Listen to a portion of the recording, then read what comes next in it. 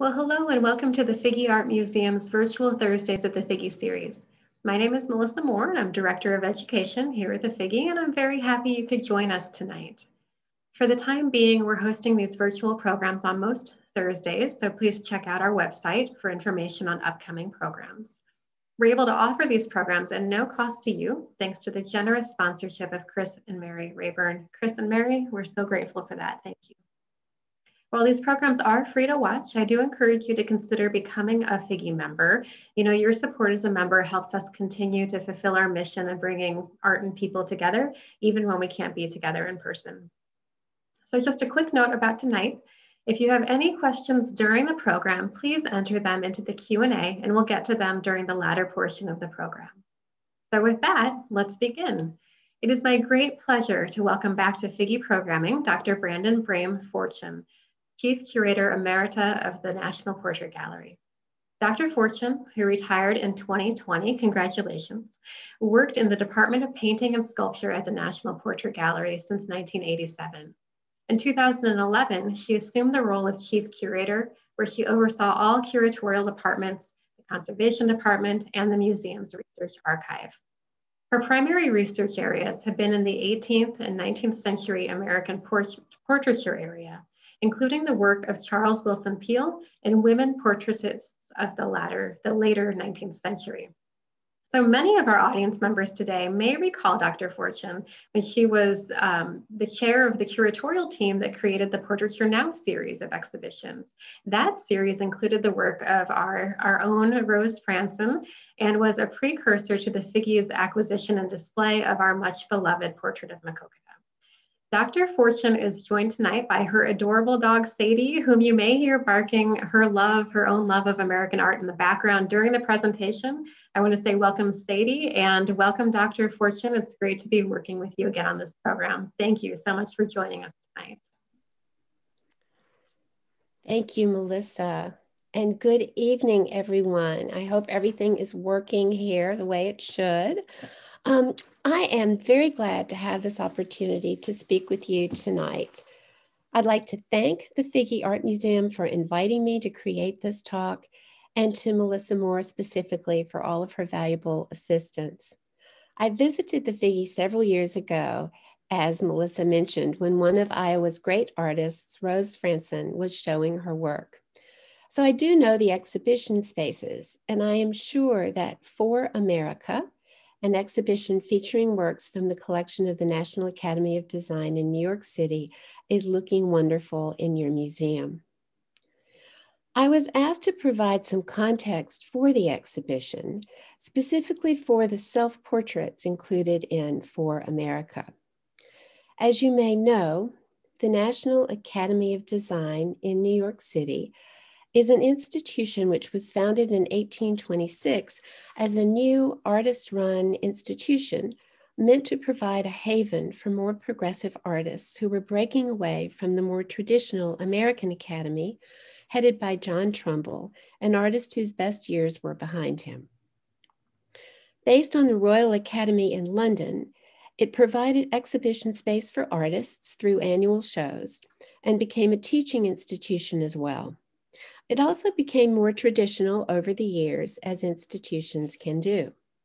But from the beginning, the Academy required newly elected academicians to give an example of their work to the institution, starting a collection. By 1839, those who were elected as associate members, a first step toward full membership, were also required to submit a portrait of themselves, which could be a self portrait. Therefore, the Academy's collection is full of portraits, and there are approximately 1,200 self portraits within that collection.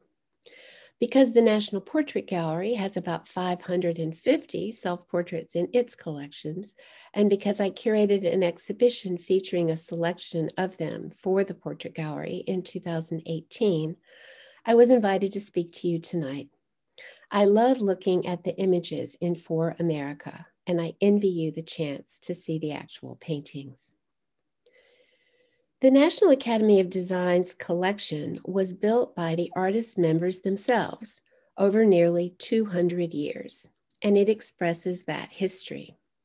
The National Portrait Gallery, where I was a curator until my retirement last year, was founded by an act of Congress in 1962 and opened its doors in 1968 with a mission to collect and exhibit portraits of people who had a significant impact on the history and culture of the United States and to examine the history of portraiture.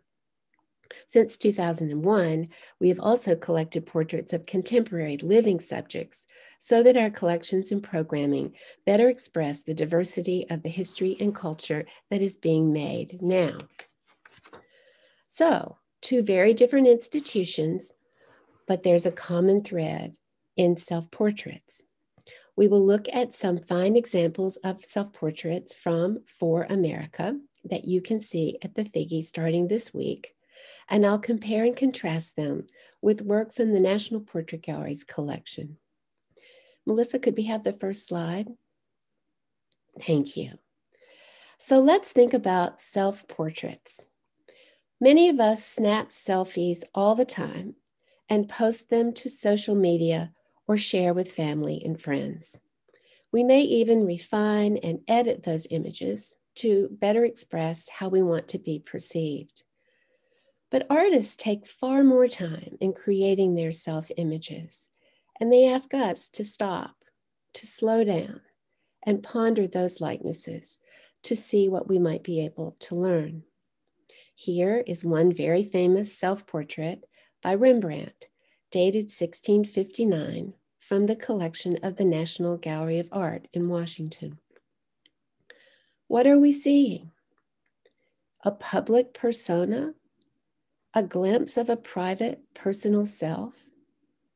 Artists usually intend for others, contemporaries, or posterity, or both, to view their self portraits and may choose to reveal aspects of themselves in the process. And yet, self portraits, as works of art, are inherently products of the imagination. The artist depicts herself not by looking inward, but by looking at what others see.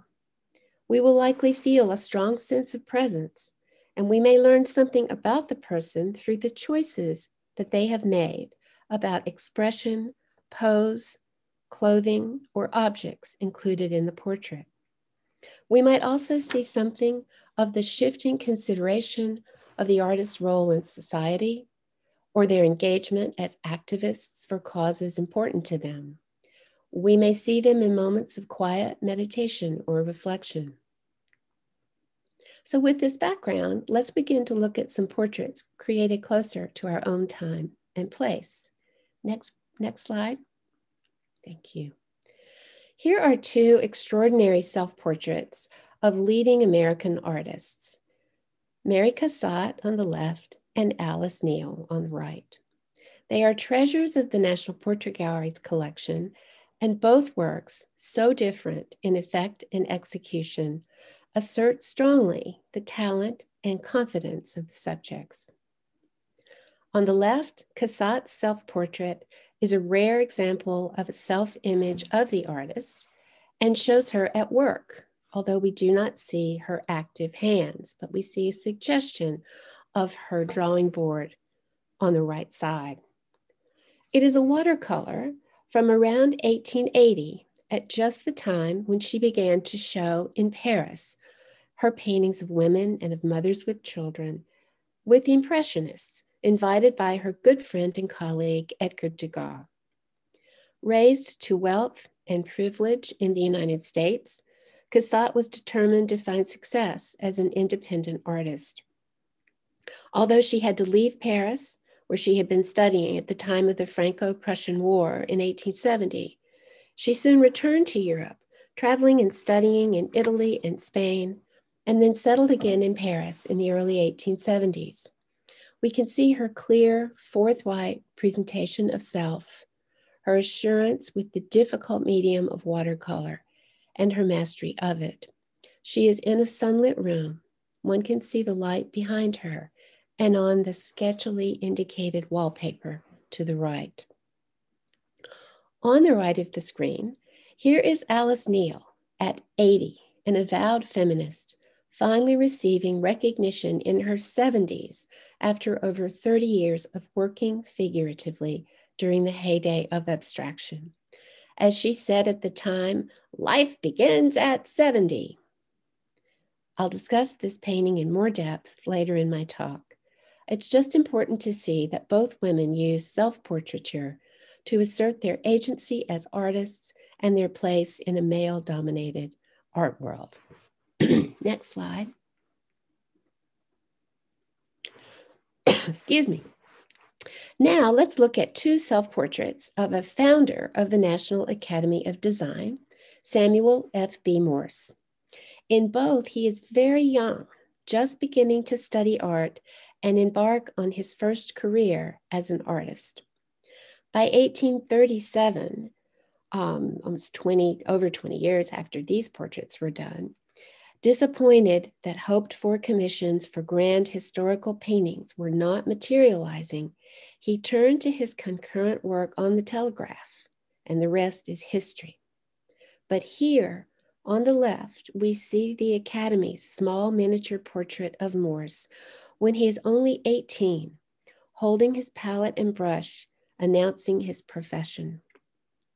On the right is the National Portrait Gallery's small painting from 1812 when he is 21, which is a study for a larger painting belonging to the Addison Gallery at Phillips Academy. As scholars have pointed out, the profile pose is a reference to neoclassical art of the time, and he may be wearing a red trimmed academic gown. He is more mature and presenting us with a more refined, even poetic image. Next slide. Next, let's examine two portraits of Daniel Huntington. On the right is a formal portrait from the later years of the artist's life in the collections of the National Academy of Design. He is seated, looking straight out at us, and indicates his history of the knowledge, his sorry, his knowledge of the history of art by holding a sheaf of reproductions of paintings with what appears to be a painting, a drawing of a painting by the Italian Renaissance artist Raphael on top. Such reproductions were becoming very popular by the 1890s. Huntington had a very long career and served as president of the National Academy of Design twice, in the 1860s and again about a decade later. On the left is a portrait of him when he was 50 years younger and a student of the New York artist who painted him, Henry Inman. It's a charming, warm image of a young man brimming with goodwill and intelligence. It's not a self portrait, but it gives us a very different view of Daniel Huntington. This painting hung in my office in the National Portrait Gallery in the 1990s, and I loved looking at it every day. Next slide. Next, I want to compare two self portraits of Cecilia Beaux, who was one of the most accomplished portrait painters of the later 19th century in the United States. She studied with William Merritt Chase, and then studied further in Paris.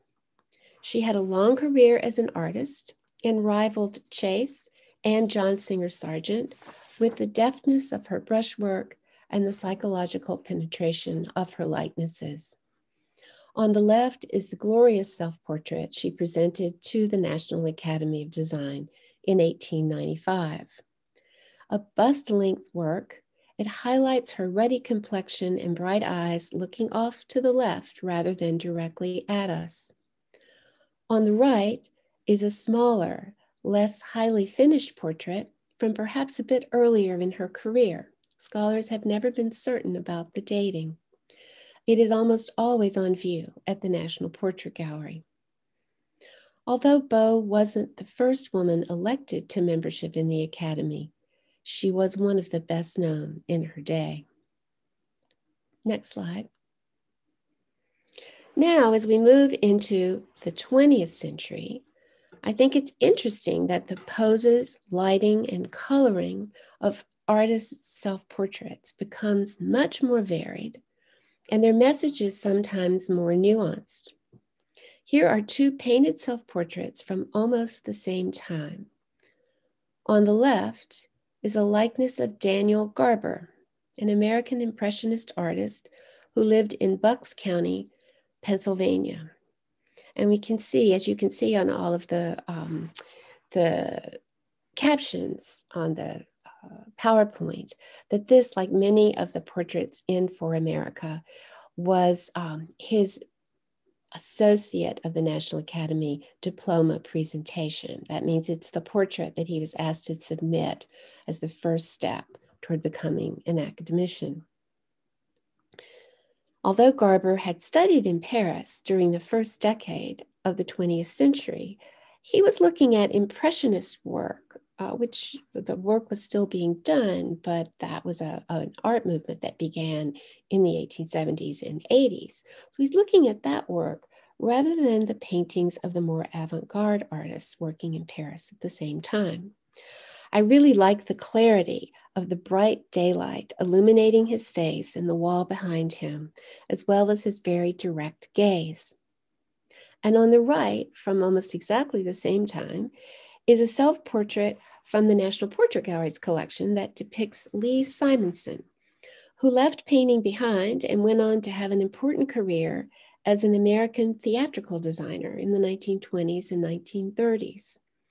Here, in a painting probably created, a self portrait, when he was studying modern art in Paris, just a few years after Daniel Garber was there, he has painted himself into a still life worthy of Gauguin or Cézanne, signaling his allegiance with those giants of French art and all that he had learned in Paris during the few years that he was there. Next slide. On the left is a self portrait from the National Academy's collection of Gertrude Fiske, a New England artist who painted portraits and figure studies in Boston and in Maine for her entire career. In this case, I believe that she is showing us forthrightly the mirror image she is seeing as she depicts herself. We see her truncated palette in the lower left, a canvas on the right, and in the background, a lighted window shining into the darkened space of her studio. I wonder if she was familiar with John Singer Sargent's interiors made in Venice in the late 19th century with similar dark corridors illuminated with bright light. And on the right is one of my favorite works in the National Portrait Gallery's collection, a small self portrait of Lucy May Stanton, a Southern born artist who spent much time in her native Georgia, in the Georgia mountains, but who had trained and worked as well in Boston and Philadelphia. Her portrait is titled The Silver Goblet, though scholars have not discovered the meaning of the silver vessel. It does provide her an opportunity to show off her skill, however, and you can see the reflections, which are quite beautiful. The painting is only about five and a half by almost four inches, and it is done in watercolor on ivory with a wet in wet technique that she had mastered. She would put her ivory panel on a board, and as she painted using this wet in wet technique, she would turn the board and allow the paint to run and to move around the surface of the ivory in order to get the beautiful effects that you see here. Next slide. On the left is Ellen Emmett Rand's self-portrait from the Academy's collection. It is similar to photographs of her at her easel, including that wonderful hat, which looks as though she borrowed it from her husband. She is posed at her easel, at work, wearing her painting smock, with no pretense. Rand was part of a family of artists. Three of her female cousins were painters as well, and all were part of a socially connected network of elite New England and New York people who were often the subjects of Rand's portraits. Based in New York and in Salisbury, Connecticut, She painted hundreds of portraits, including several paintings of Franklin Delano Roosevelt, but her work is not well known today. The portraits are strong and well designed. Luckily, there has recently been an exhibition devoted to her work at the University of Connecticut in 2018, so hopefully her work will become better known. On the right, I've included a small print, a self-portrait of Mabel Dwight from around the same time, and it's in the Portrait Gallery's collection. She poses herself right up against the picture plane, drawing on a lithographic stone. Like Rand, she depicts herself hard at work. Dwight studied art as a young woman in San Francisco, in fact, but after her marriage and living on the East Coast, she did not work as an artist for a number of years. It was not until she was 50 that she traveled to Paris and began to study lithography, which became her favored medium throughout the 1930s and 40s. Next slide. Oh, hmm. That's strange. Sorry, so sorry, sorry. Could we go to the next slide, please? There, and we'll go back to that. My mistake. I apologize. On the left is a self portrait of Hughie Lee Smith, who studied art in Cleveland and later lived and worked in Detroit before moving to New York City in 1958. After years of effort to achieve success as an artist during the period of Jim Crow, he found his place in the city, creating haunting figurative paintings that had been likened to the work of Edward Hopper or the Italian artist Giorgio de Chirico. He taught at the Art Students League in New York for 15 years and was only the second Black artist to be elected to the National Academy of Design after Henry Ossawa Tanner, who was elected in 1909. In spite of this recognition by the art world, he did not have a full career retrospective until 1988. Luckily, a scholar, Alona Cooper Wilson, has recently completed a dissertation on Lee Smith and has contributed an essay to the For America catalog. This catalog looks to be just marvelous. It contains a variety of essays and short pieces by leading scholars and artists about the artists and artworks in the exhibition, and it is published by Yale University Press. Now, on the right is a drawing from the National Portrait Gallery collection created by Aaron Douglas in 1925. You can see the bold signature on the right. When Douglas left his teaching position in Kansas and traveled to New York, to Harlem, thinking only to stop over for a short while before going to Paris for further art study. Instead, he was drawn into the Harlem Renaissance for several years and eventually became a professor of art at Fisk University in Nashville, Tennessee. The drawing reveals his academic training, as it asserts that he has truly mastered traditional drawing techniques. This drawing, made using red Conté crayon, could have been made in the 18th century in France. And yet, Douglas adopted a modernist visual language for his later work and was renowned for murals and other paintings which foregrounded African America American and Afrocentric subject matter. Next slide. Oh, wait a minute. What happened? There. Sorry. On the right is another portrait of Aaron Douglas, whose drawn self portrait we just looked at. This was created much later in Douglas's career when he was an established professor at Fisk. It is not a self portrait, but it was painted by Betsy Graves Reyneau, who was one of two women artists commissioned by the Harmon Foundation in New York City to create a series of painted portraits of Black figures of accomplishment in the United States, including Marian Anderson, Thurgood Marshall, and George Washington Carver. Unlike the young Douglas, asserting his very great skill in drawing, In this portrait, we see the older professor, pipe in hand, posed in front of one of his artworks. And on the left is a self portrait of James A. Porter, also created when Porter was at the top of his career, serving as professor of art and art history and also director of the art gallery at Howard University in Washington, D.C. Posed at work with his brush in his hand, he sits in front of a view of Howard Hall, which housed the art department. Next slide. As we move into the later decades of the 20th century, we find so many approaches to portraiture and in fact, Melissa, if you wouldn't mind going back to to those two self-portraits there, and then we'll we'll get caught up. Um, we find so many approaches to portraiture and an increasing focus on feminism for women artists and to issues of activism and personal identity for other artists. Here we have two marvelous self portraits of the realist artist Lois Dodd, who continues to work in her ninth decade of life. I was so excited to see that the Academy also has one of her very rare self portraits, as does the National Portrait Gallery.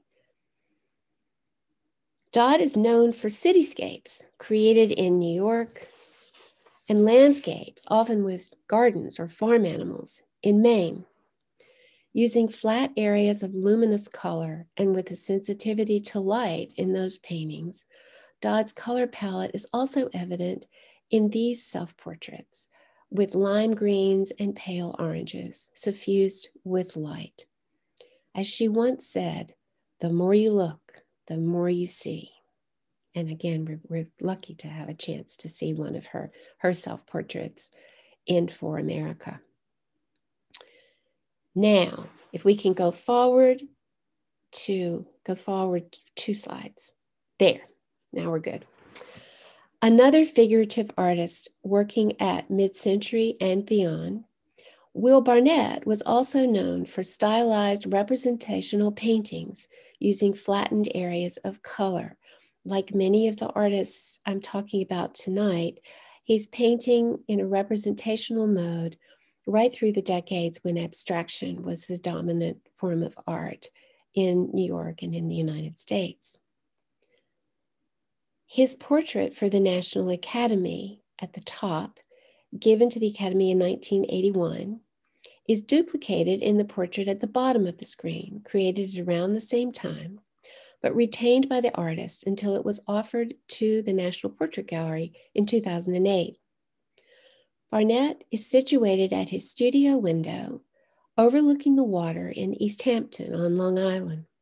The crow belonged to a neighbor, but crows also appear in a number of paintings around this time, and sometimes they carry mythological or poetic meanings for Barnet.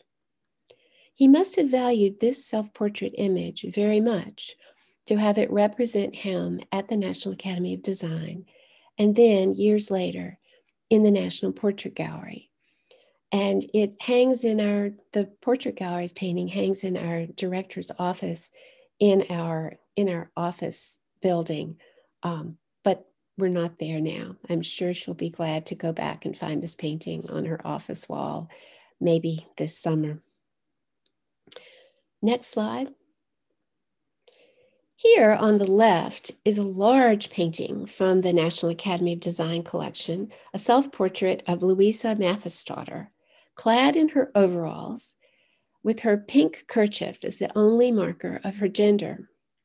The setting is her studio, and she holds a paintbrush in her left hand. Matthiasdottir was from Iceland.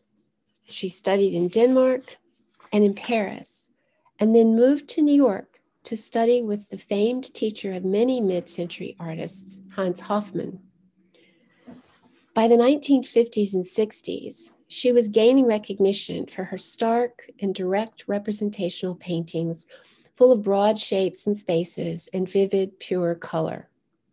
By the 1980s, when at around 70 years old, she was elected to the National Academy of Design, she had been lauded for her work for many years.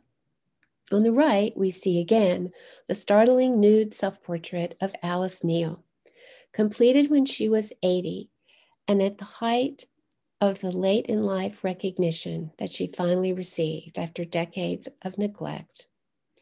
An avowed feminist, Neel determined to paint figures in her signature, expressive, representational style, very much like what you see here, going against the abstraction so dominant at mid century. And she did so for over 30 years, working mainly in New York and living for a while in Harlem before fame found her. In her self portrait, the only painted self portrait she ever made, she presents us with full acceptance of her sagging, aging body. It is a striking challenge to the centuries old convention of idealized femininity. She takes the trope of the male artist and his gaze, creating nude images of female models, and she turns it on its ear, owning the image and the gaze, taking it all for herself. She does include her paintbrush and a painter's rag to be sure we know just who we are dealing with. Next slide. I'm going to end with three works of art from the National Portrait Gallery collections, all self portraits, to indicate some of the fascinating directions that contemporary self portraits are moving in. You'll also see other examples of this varied and exciting work in For America. On the left is Enrique Chagoya's self portrait with six self images entitled Aliens Sans Frontières, Aliens Without Borders, from 2016. Chagoya, who identifies as Mexican American, teaches at Stanford University and is known for works in many media, including very complicated and sophisticated prints, such as this one from the Portrait Gallery's collection. All of these last three images, these two and the last one I'll show you, are included in the Portrait Gallery's traveling exhibition, Eye to Eye, 20th Century Self-Portraits, which I curated, which is why I was so delighted to be able to talk about these, these works tonight. Now, Enrique Chagoya had his DNA tested to determine, just as we might see on the PBS show Finding Your Roots, the complexities of his genetic heritage. He found that his roots included Native Americans from central Mexico, European peoples, Ashkenazi Jewish heritage, and also ancestors in the Middle East, North Africa, Sub Saharan Africa, and both East and South Asia. He truly represents the melting pot. In this print, however, he speaks to prejudice by depicting himself using negative visual stereotypes of many of the peoples I've just listed. For Chagoya, the message is that we are all connected and that we need to care for each other. On the right is Roger Shimomura's very large painting, Shimomura Crossing the Delaware from 2010. The painting features Shimomura in the guise of George Washington, and the composition is based on Emanuel Leutze's painting from the mid 19th century in the collections of the Metropolitan Museum in New York. You can see a silhouette of the original painting in the right background. Shimomura has replaced Washington's Continental Army soldiers with samurai warriors, and the entire aesthetic of the painting refers to Japanese printmaking traditions. Roger Shimomura, who has been a professor of art at the University of Kansas for many years, is a Japanese American. His family, who were all American citizens of Japanese descent, were imprisoned in an internment camp in Idaho during World War II when he was a small child. He considers himself an American first, but he focuses in all of his art on the broader experience of Asian Pacific Americans and the obstacles they face. Next slide. And finally, I want to close with a painted self portrait, the last he made, of Fritz Scholder. Scholder gained fame as a painter of Native American subject matter in the 1960s and 70s as a member of the New American Indian Art movement. As a younger man, he studied in California with pop artist Wayne Thiebaud and often employed a pop art aesthetic with flat surfaces and bright colors. Scholder taught in Santa Fe, New Mexico at the Institute of American Indian Arts and often mentored younger Native artists. But here, his palette is moody and subdued, but the effect is dramatic. His typical sunglasses seem part of a visage that is marked as though scratched and abstracted. Suffering from complications brought on by diabetes, we see the long tubes from his oxygen tank. The gray cat may be a reference to the Egyptian cat Bastet, who served as an escort to the afterlife. The influence, which was lifelong, of the English artist Francis Bacon is also clear in the painting. As with Alice Neel's self portrait, we see an honest engagement with old age, and in this case, with the reality of death, which is always with us. Thank you very much for listening to me tonight. I hope that we will have some questions or comments. And again, I apologize for the PowerPoint snafu. I, I made a change and then I evidently didn't save it correctly. So thank you all. Dr. Fortune, thank you so much for that exploration of portraiture. What a wonderful way to, to really help us celebrate this exhibition for America. I do see that we have a comment in the Q&A, just a little note about some local connections. Here, um, Chagoya was a guest speaker at Augustana College in Rock oh, Island, wonderful. which is part of our community. Yeah, and just a reminder, um, a reminder for our audience members that um, one of his richly textured prints is in that very same collection over at the Augustana Teaching Museum of Art. And you really need to make sure to see his works at close range. it's true. It. It's true. There's so much, it's, there's the grittiness of sh- street art. There's just this incredible layering of, of printmaking mediums and it's, it's, they're, they're beautiful. Oh, I'm so glad there's another one close at hand.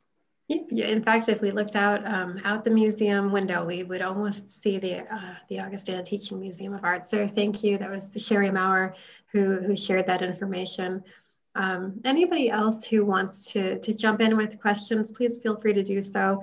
Dr. Fortune, we are getting a few comments. Just uh, our gratitude from our community for your presentation and how excellent it was. So thank you. Well, it's it's amazing to have this great exhibition, uh, which I think has been traveling all over the country. So how how smart of your colleagues at the Figge to to bring it.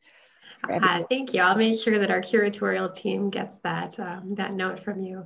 We also have a note from a docent um, from the NPG who says that she misses you very much. And I know that we had a couple other docents from the National Portrait Gallery who had emailed in anticipation of the program. So I want to, uh, you know, from one museum staffer who, who loves our docents here to, to yours, I just want to say thanks to all the docents for all that you do. Thank you so much to all docents everywhere who bring your exhibitions to life.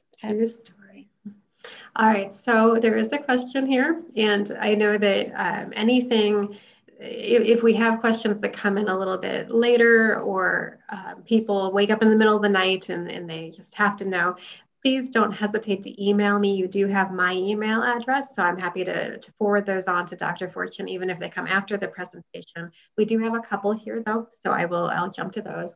First is, what is your oldest portrait in the National Portrait Gallery? Oh my goodness. We have some engravings from the very late 17th century or very early 18th century um, in the collection. Um, but for the most part, our collection begins in the early 18th century. Well, thank you for that. And Then we have another one. Could you talk about the artist and technique of painting on ivory? What would have been the ivory source? And outside of people who may use this as a local medium, how was this viewed? Well, I can say that now ivory from any source is is banned. Um, as you may know, there there are lots of new regulations from the Fish and Wildlife Service, uh, Service and portrait miniatures were often made on small pieces of ivory, and I'm not sure what the origin of those pieces of ivory was, if it was from Africa or India, but um, they were they were thin pieces, often ovals or rectangles of ivory. And for the most part, artists worked with watercolor and very, very tiny, tiny brushes in the late 18th, early 19th century. And then there was a revival of miniature painting in the later 19th century, and those were often done by, by women. Um, and they became a bit larger. So by the time we get to Lucy May Stanton's time period in the early 20th century, she's building on the work that had been done in the 1880s and 90s, um, mainly, I said, by, by women artists.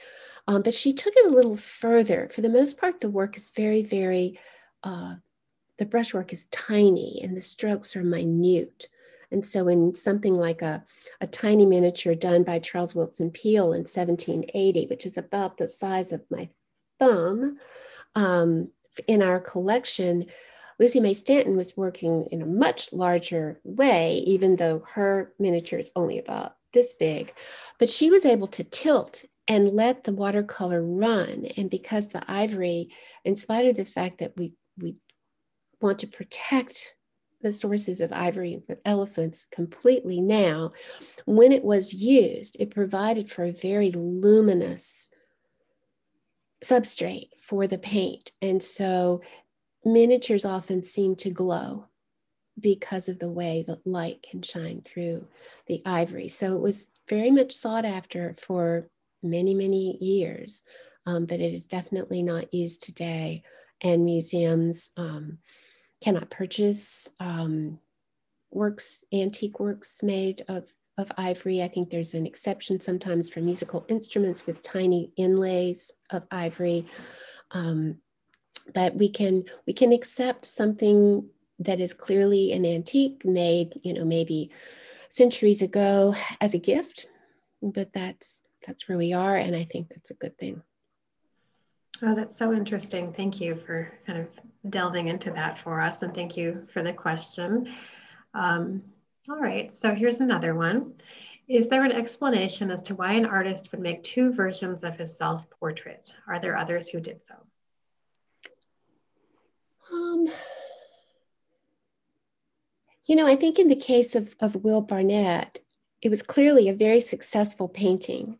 And by doing another version of it, it the time, he may have just wanted to keep it in the studio. It may have been, I don't know. I do not know the answer, so I'm sort of making it up. But it turned out to be wonderful for the portrait gallery because then in around 2008, when he and his wife offered it to us, we certainly recognized his accomplishments as an artist, and we were very happy to have this brilliant self portrait. So, you know, I don't, I'm trying to think if there are other instances of, of an exact replica by the artist of a self portrait. And I can't think of one right now, but I'll probably wake up in the middle of the night and think of it. Well, no, and thank you for that. I know we're putting you on the spot here. Um, if yeah, it goes same to you. If anything comes to you in the middle of the night, I'm happy to email it out to our group. I do see that we have a number of other questions that, that have come in. And so what I'm going to do just to make sure we're being respectful of time, audience members, if you have asked a question, I'm going to grab those questions and um, just take one more right now and the rest of them I will communicate with you and with Dr. Fortune about getting those answers to you. So I wanna thank everyone for your questions. I think at this point I'm gonna wrap up with with one more and then we will we'll call it a night all right? So please don't be discouraged those of you who have burning questions. I see them and i'll make sure that we we get those answered.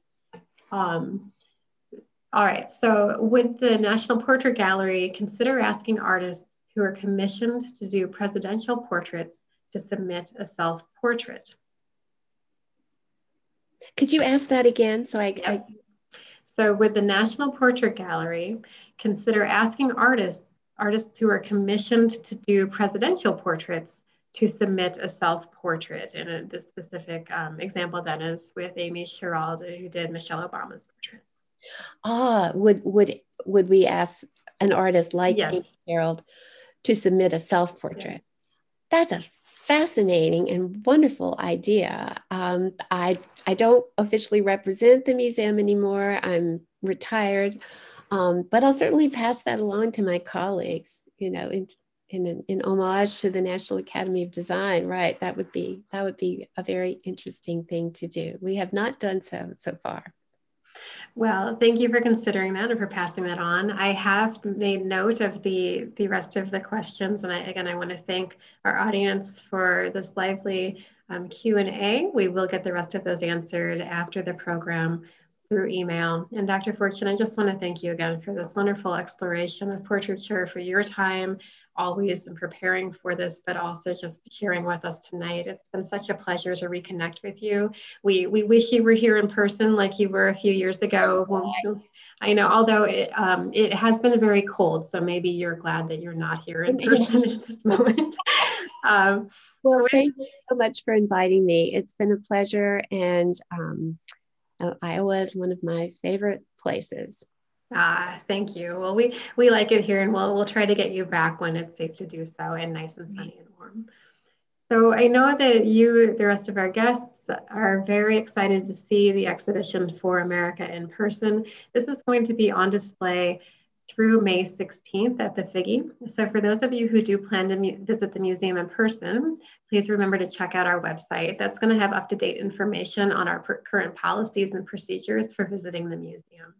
And for those of you who are unable to visit or who are not yet ready to visit the museum in person, we hope that you explore the exhibition online. So for that, if you go to our website and you go to the Art tab, you'll be able to select virtual exhibitions. And from there, you'll be able to go to our, our microsite of For America. So you're going to be able to go through the exhibition from your computers in a very similar way to if you were in the museum here. You can zoom in on the artworks. Um, it's not quite the same, but if you could get close, this is definitely it. We just launched this a couple days ago uh, in conjunction with the exhibition, and we're so thrilled to be able to offer it to all of you. So again, if you want to check out the exhibition online, regardless of whether or not you plan to come to the museum, go to the Figge Art Museum's website, Art tab, and then virtual exhibitions, and you'll find your way.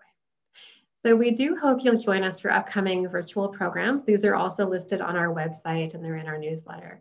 Next week, we'll be hearing from Dr. Renelle Knight-Luth as she presents the lecture, Who Was Leila Mechlin, which is also in conjunction with For America. In fact, it's going to be For America all the time um, now through May 16th. So definitely consult the website and your newsletter and check out other programs. I just want to thank you all for joining us this evening. It's so wonderful to be celebrating the exhibition with you. Dr. Fortune, can't thank you enough, and we look forward to connecting with you again in the future. Hope everyone has a wonderful evening, and we'll see you next time. Thank you. Good night.